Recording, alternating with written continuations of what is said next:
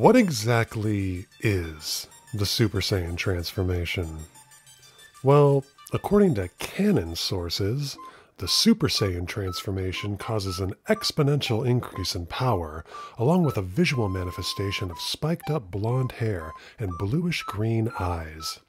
It is available to Saiyans and Saiyan hybrids born with the necessary amount of specialized cells, called S cells.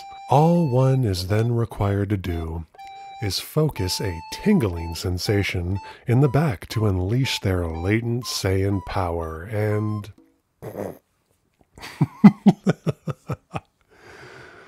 oh, I'm just playing. This is why arguments over canonicity are inherently stupid. Canon or not is less important than what fits better within established world building. I don't care if S cells are canon. I reject your canon and substitute my own. Don't like it? Cry about it in the comments. The Super Saiyan is first mentioned by Nappa when he and Vegeta are discussing the unusual power of Kakarot's son when he critically injured Raditz.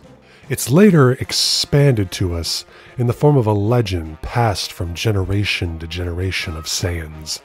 The legend speaks of an unstoppable Saiyan warrior with an insatiable lust for battle, becoming the mightiest warrior in the universe and supposedly only appearing once every 1,000 years.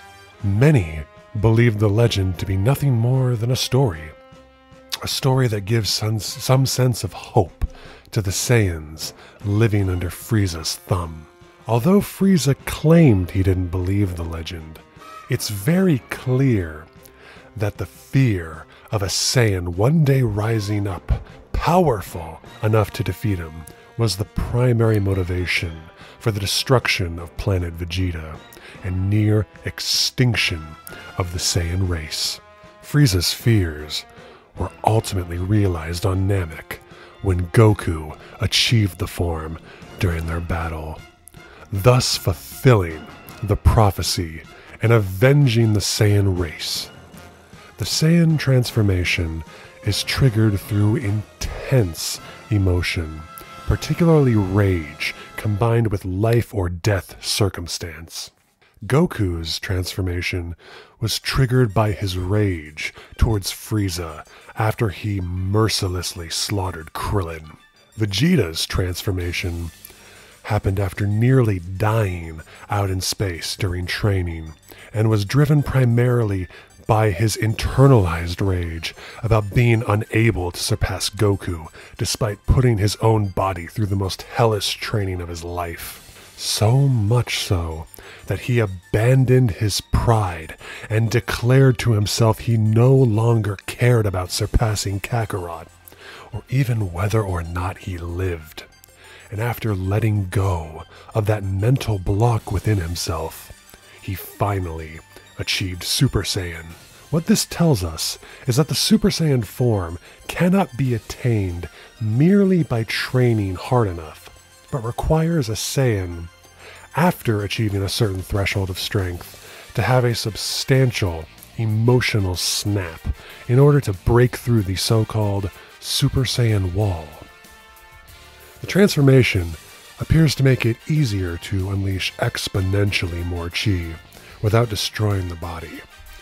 Think of it like this Imagine a bicycle. The Kaioken is like rapidly pedaling like your life depends on it to gain more speed. You'll only be able to do it in short bursts, and if pushing too hard, you can actually break your bike in the process. Whereas Super Saiyan acts more like shifting to a higher gear, which allows you to achieve much higher speeds with less strain on the bike. That being said, the power output of Super Saiyan limits the time that the form can be used, but through proper training, the body can become acclimated to the Super Saiyan state. The form can be further evolved by way of Super Saiyan grades. Grade 1 being the basic form, like the one Goku achieved first on Namek.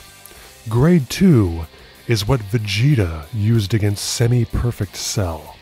It involves infusing the physical body with substantially greater amounts of chi, manifesting as a large increase in muscle mass, giving heightened strength and speed. Grade 3 pushes the basic principle of grade 2 to its furthest extent, causing an extreme increase in muscle mass at the cost of speed. This grade, however, is regarded as functionally useless because so much is sacrificed in the way of speed that all the strength in the world means nothing if you can't hit your opponent. Super Saiyan Grade 4, or sometimes called Full Power Super Saiyan, is achieved by acclimating one's body to the form in such a way that the issue of stamina loss is completely resolved, allowing one to maintain the state indefinitely, essentially treating Super Saiyan as a new base form almost. Super Saiyan Grade 5, or as it is more commonly known, Super Saiyan 2, or Ascended Saiyan, is the pinnacle of what Super Saiyan is. Mastering the height of strength and speed beyond any grade before it. You could say that Super Saiyan Grade 5 is the highest level of mastery of the form that can be achieved under normal circumstances.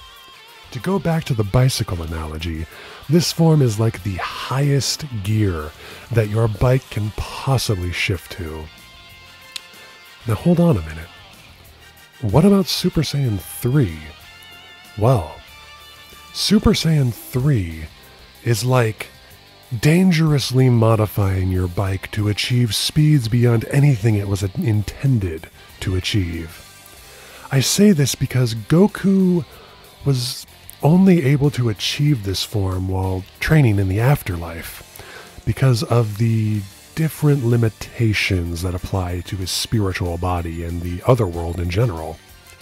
The first time Goku utilizes Super Saiyan 3 on Earth, his power is it goes so wildly out of control that the very world shakes beneath him, as if the planet itself were about to be ripped apart by the sheer force of power uncontrollably emanating from him. While dipping into headcanon here, I believe this is the primary reason why we never see anyone else attain the Super Saiyan 3 form. There's also a substantial weakness to the form, which is a massive drain to one's stamina. Though I will admit it looks quite cool, and I guess you could call this Super Saiyan grade 6. Now, dear viewer, what if I told you that all of the forms I've discussed so far weren't truly the Super Saiyan of legend. And no, I'm not referring to legendary Super Saiyan Broly. That's a subject for another video on Berserker forms. Have you noticed that every Super Saiyan form I've discussed so far is missing something? Something integral to Saiyan biology. Something that truly separates Saiyans from other warriors. That's right, the tail. All forms I've gone through so far are forms achieved through the tailless Saiyan tree. If you're a canon crybaby, you might want to click off the video now because we're going to talk about what I believe to be the truest form of Super Saiyan, the form that made GT great Super Saiyan 4. Now, I'm not to lie, I'm a huge GT fanboy, and I've always seen Super Saiyan 4 as the true Super Saiyan. This form is achieved by Goku after getting his tail back and entering the Oozaru state. But Goku's new Oozaru form is unique in that it has the golden hair normally associated with Super Saiyan, And although this frame here is anime only, the GT writers clearly took it as an inspiration for the Golden Oozaru form, and I am here for it. Goku never mastered his Oozaru form, and as in the original Dragon Ball, he is wildly out of control. In a berserk rage, unable to distinguish friend from foe, simply attacking what's in front of him. But it is only after his granddaughter's heartfelt words that Goku finally achieves lucidity. And that's when it happens. The Golden Oozaru begins to shrink, to condense, back to a humanoid form until the true form of the Super Saiyan is revealed. This form represents everything that a Saiyan is. It's so primal in its appearance. The red fur that grows over the body symbolizing rage and blood. The red around the eyes that gives a menacing gaze. And the wild hair like a jungle beast. This form represents the deepest inner nature of the Saiyan. It is primal power incarnate and the true zenith of the Saiyan race. To call this Super Saiyan 4 seems inaccurate as this is a whole new evolution that is the true intended path of an intact tailed Saiyan.